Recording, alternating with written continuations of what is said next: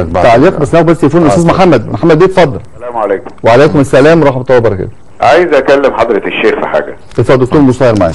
آه، حضرتك يا حضرة الشيخ قبل كده قلت أن نكاح آه، العروسة اللي هي الصينية ديت اللي هي ال- ال- الأوتوماتيك دي ليس زنا؟ السؤال إيه بس؟ قول لي السؤال حضرتك. قلت كده قبل كده صح؟ ما أعرفش قول لي السؤال أقول لك الإجابة. قول لي السؤال كله على أنا بعض. بختلف مع سيادتك إن أنت قلت كده لأن النكاح ال- بتاع ديت يعتبر يعتبر عادة سرية لأن الذهن بيستدعي نساء عاريات الواحد شافهم قبل كده لتتم الشهوة. يعني يعني هو مع زنا يعني هو. زنا يعني يعني هو زنا؟ إيه؟ يبقى هو زنا يعني؟ آه طبعا لأن العادة السرية زنا. كويس يعني يعني لا؟ لا, مش صح. لا لا لا العادة السرية زنا؟ لا. مش زنا، لا. لانك بتستدعي صور آه، يا أستاذ سيدات. ذهنك. سيبك السادة وما استدعيش.